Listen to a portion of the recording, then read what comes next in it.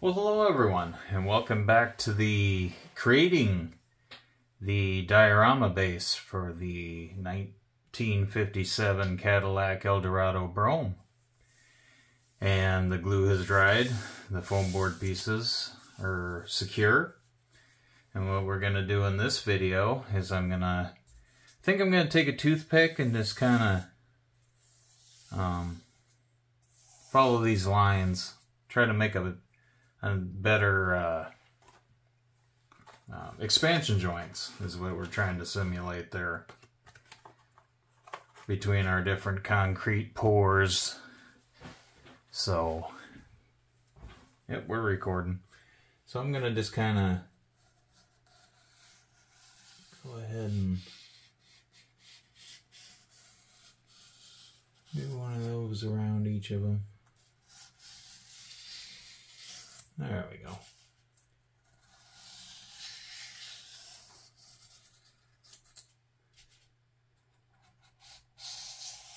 That one's got a big old expansion joint. Yeah, that's going to be nice. Just kind of, what I'm doing is squishing down the edges to make a finer or a better um,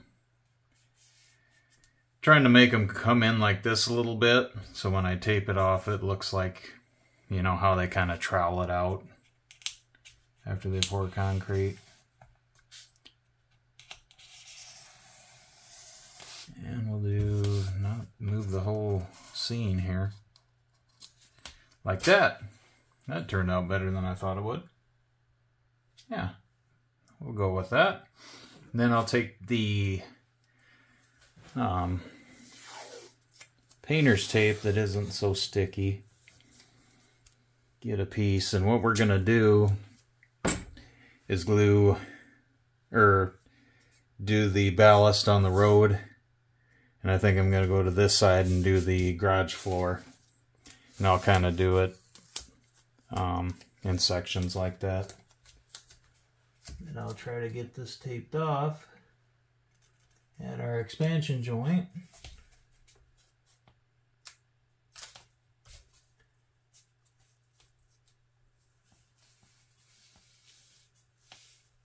I don't want it. Do a little better than that. And I'll run the run that over that again to try to get get the tape in the crack a little better.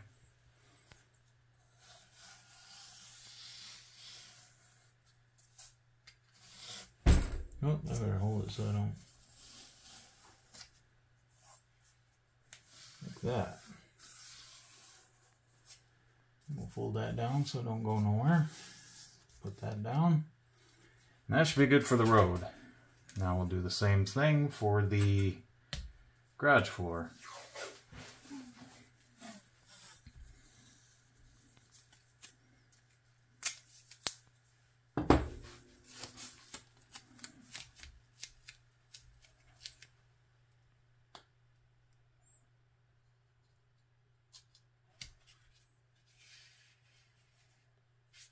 Oh, started started moving it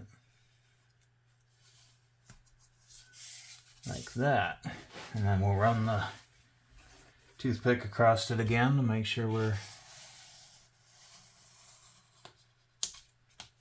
only getting the parts we want to get.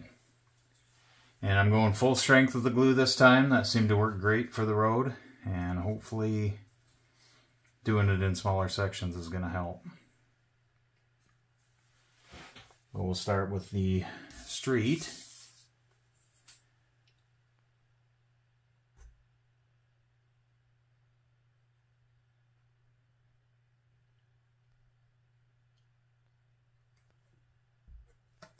side there and I'm going to take a brush make sure nothing's on it We'll just paint that glue down.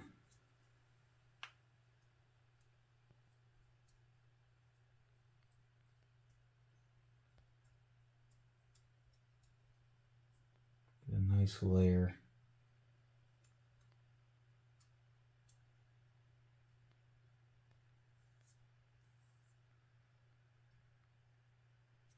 A really good layer, I think. I really want this to stick well.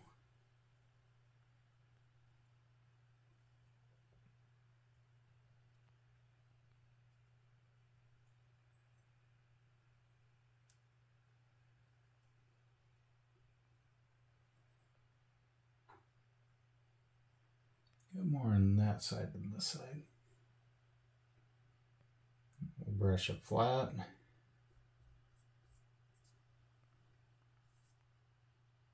There, we'll let that set for a second. Let it level out, I should say. Put you there, don't roll off because I don't want glue everywhere. See, there's a little spot here that could be better.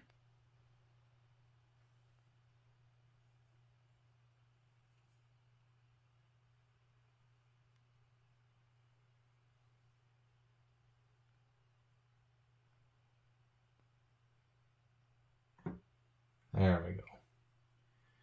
We want it to be laid down flat.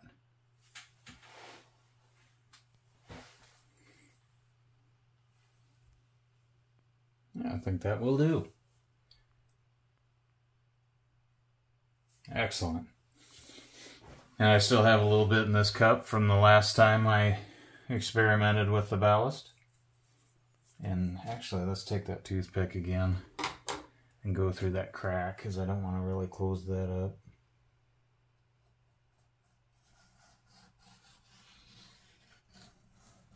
Because I kind of put a lot of glue on that.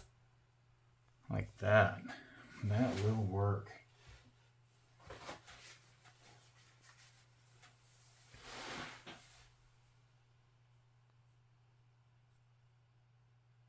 Yeah, I think we're good to go now. So let's go ahead and start shaking this stuff on. I'm going to stand up so I can see better. And we are going to make a mess of things.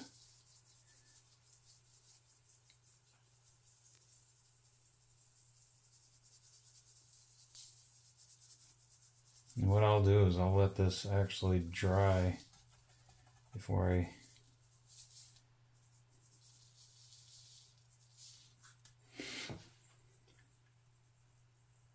try to wipe off any of it.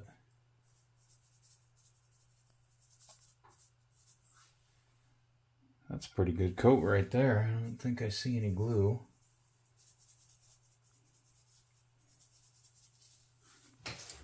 That's good for that one. Let the uh, that dry out. And now we're going to work on this side. And this will hopefully enable this to go quicker.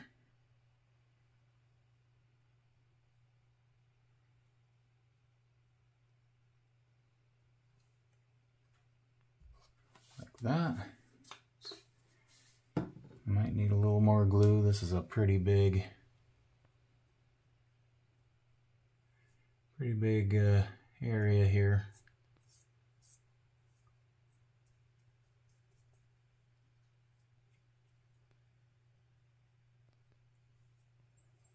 You'll have to excuse me, I'm tired tonight.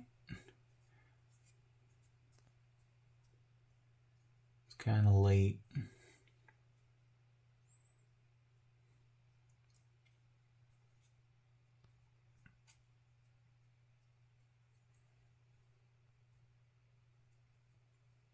Oh, that might be good.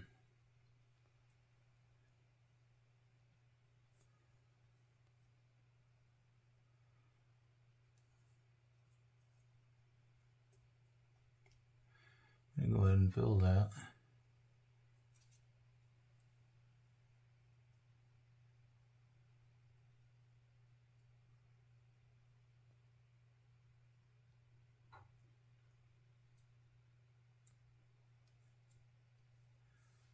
And I missed a spot.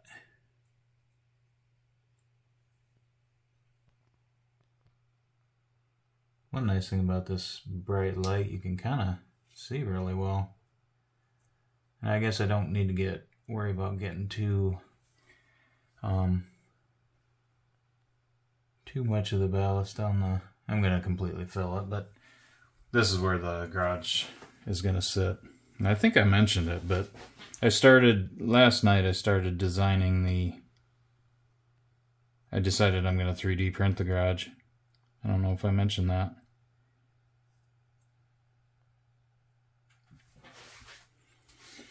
Gonna 3D print the garage.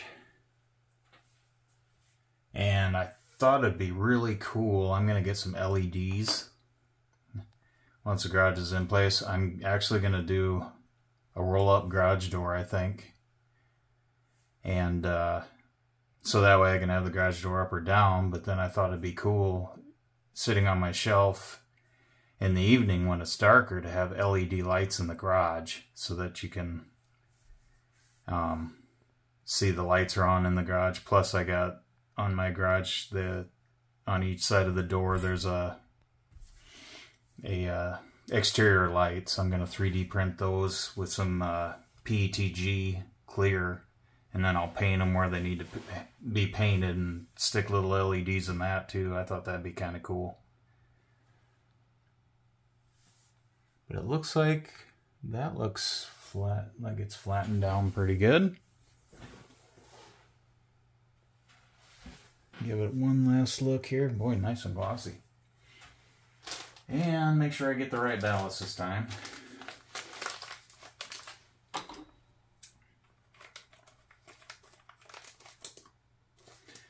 But yeah, where I was going with that, I uh, got the entire front of the garage with the door opening is already designed in Blender. I just need to do the siding and stuff detail. I'm just gonna... It's a little bit more of a tan than my actual concrete is, but I think I'm gonna like it better than the what it was. It can't look any worse than it did, I don't think. Can it? This is more of like for dirt, I think, than anything, but I did get the right one, right? Yeah, I did. If nothing else, I got, well, I, it's going to be me pretending I got a 57 Cadillac in my in my driveway. So I decided to rip out my concrete and do that fancy stamp concrete or whatever that fancy fancy colored concrete. We'll just let's go with that. So I will let all this dry overnight. And uh, tomorrow we'll pull the tape off both sides and hopefully um, hopefully have better results than what we did. Might have lost this expansion joint a little bit because I uh, didn't think about it and I forgot to take the toothpick and that's what happens when I try to explain stuff as I'm working. I should have taken the toothpick and got the glue out of that crack, but not a big deal. With the tape line, it'll still, you'll still see it anyway, you'll know that it's the diff two different pads. So, and the garage is going to be there. No big deal. Just have to remember it for the, the next three. But tomorrow, we'll pull the tape off, get all this access off here, and then be doing these two. I think I'll go ahead and do these two sections, and then this section. And then we'll just have to wait for the one to dry. Then I'm getting for, uh, excited to check out the static grass machine thing that I got. So that'll be interesting. I think I'll experiment with the P40's diorama. Try to get some uh, experience on it before doing it onto this one. But anyways, I'm rambling again, and it's time for bed. I'd like to thank everyone for watching, and we'll see you guys next time.